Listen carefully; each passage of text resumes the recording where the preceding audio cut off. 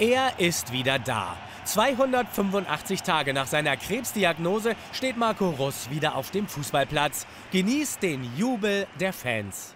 Nach dem Abpfiff teilt Russ die Gänsehautmomente mit den Menschen, die in den vergangenen Monaten mit ihm gelitten haben. Ehefrau Janina, Töchterchen wieder und natürlich auch seinen Mitspielern. Momente, in denen der Sport, den Russ über alles liebt, in den Hintergrund tritt.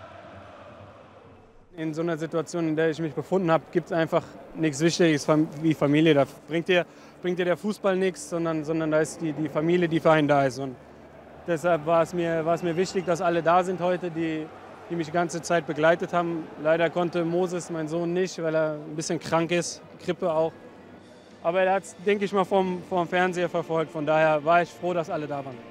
Marco Russ hat sich wieder rangekämpft. Nach Krebsoperation, Chemotherapie und unzähligen Trainingseinheiten. Sein Comeback gestern Abend ging übrigens fast schief. Die Fans klatschten sich die Finger wund, doch Marco Russ stand an der Außenlinie und durfte nicht rein. Denn der Ball rollte partout nicht ins Aus. Und nur dann darf ein Spieler eingewechselt werden.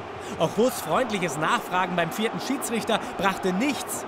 Und dabei lief schon die Nachspielzeit habe natürlich gehofft, noch ein bisschen früher reinzukommen, aber dann stand ich da noch fast zwei Minuten draußen. Nein, Spaß beiseite. Ich war erleichtert, dass ich endlich wieder so halbwegs das Niveau habe, um der Mannschaft auch helfen zu können. Das hat mich gerührt, beziehungsweise ich glaube, die ganzen Zuschauer, die 39.000, die da waren, egal ob sie Bielefelder Anhänger waren oder unsere Anhänger, sind gerührt gewesen, denn ähm, nach einer Krebserkrankung wieder zurückzukommen, das ist schon Wahnsinn und ich freue mich so sehr für ihn. Und so durfte sich die Eintracht gleich zweimal freuen. Einmal über den Halbfinaleinzug und noch mehr über die Rückkehr von Marco Russ.